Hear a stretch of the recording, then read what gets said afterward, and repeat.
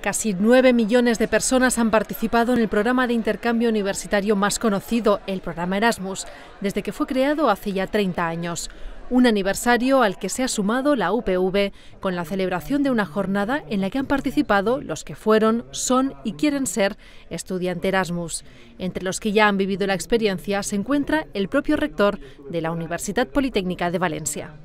Fue rica en el plano individual, como individuo y personal, y rica en el plano como ciudadano, ¿no? es decir, como individuo pues adquieres una serie de competencias y habilidades que solo se pueden adquirir viajando, ¿no? capacidad de adaptación a un entorno diferente, ver distintas formas de trabajar, la formación académica que también era buena en la Universidad de Destino, aprender otro idioma.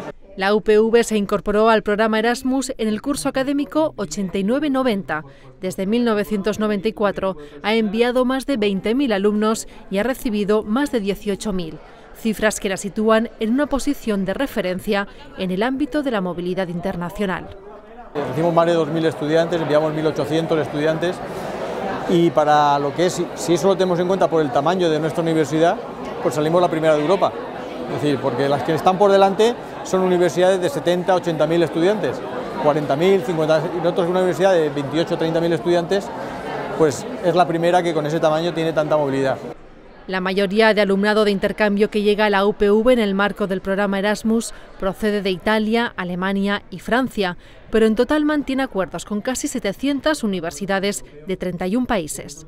A mí me parece muy bien, uh, yo me encanta estudiar aquí, uh, es que los estudiantes son muy felices y agradables. Hace dos años cuando tuve la oportunidad y la suerte de irme de, y tomar esta experiencia fui a Polonia y allí en Polonia conocí SN.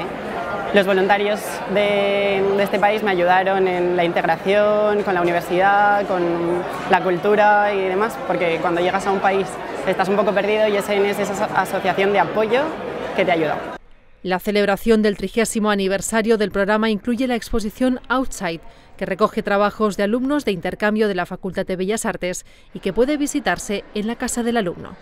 Las obras recogen esta, son muestras muy diversas, hay gente que trabaja más con la pintura o formato más clásico como la escultura, eh, el dibujo y un poco sí que recogen también esa eh, idiosincrasia casi de cada, de cada país. A nivel artístico un montón de conocimientos que yo no sabía. Y también profundizar por ramas que aunque nosotros toquemos van por otro lado muy distinto al, que nosotros solemos hacer.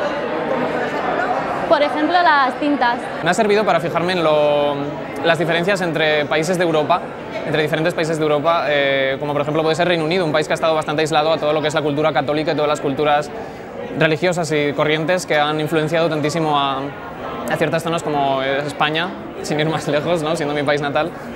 Y me ha servido para poner la, ciertos factores culturales que tengo muy asumidos en cierta perspectiva.